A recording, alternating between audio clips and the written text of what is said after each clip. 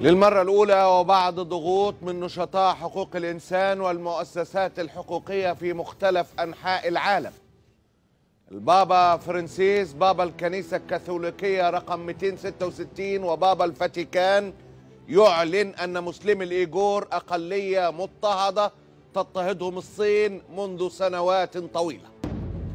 البابا في كتابه دعونا نحلم والذي سيصدر في أول الشهر المقبل تحدث أيضا عن مسلمي الروهينجا المضطهدين في ميانمار ولكنه كان قد تحدث عنهم سابقا لكنها المرة الأولى التي يذكر فيها مسلمي الإيغور. الخارجية الصينية وصفت انتقادات البابا فرانسيس لمعاملة الصين لمسلمي الإيغور بأنها لا أساس لها من الصحة. هذا متوقع.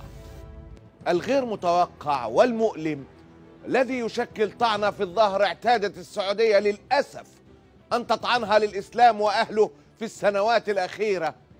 منظمة هيومن رايتس ووتش أعلنت أن السلطات السعودية ألقت القبض على اثنين من الإيجور المسلمين ورحلتهم قسرا ليواجه الاضطهاد الشديد في الصين يوم الجمعة اللي فات 20 نوفمبر. واحد من الاثنين اللي رحلتهم السعودية كانت اعتقالته وهو بيأدي فريضة الحج. استطاع التواصل مع أهله من السجن بمكالمة تليفونية وحيدة. قال لهم انقذوني السعودية هترحلني. لكن شاء ربك السعودية رحلته فعلا هو وآخر.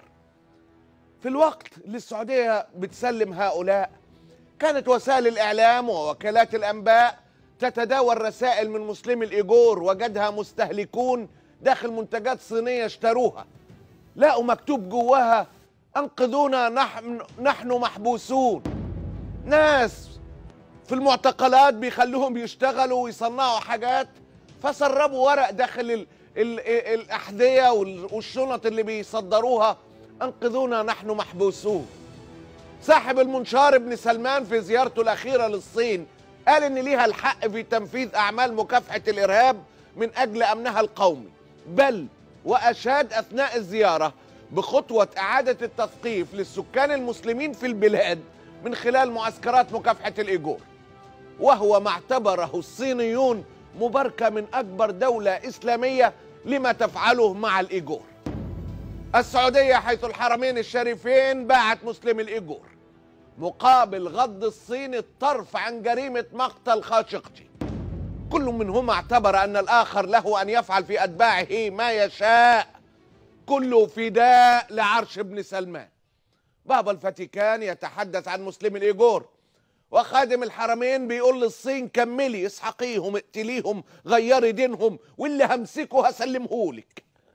وهذا حدث عندما فشل بابا السعودية أن يصبح حتى كبابا الفاتيكان. الله غالب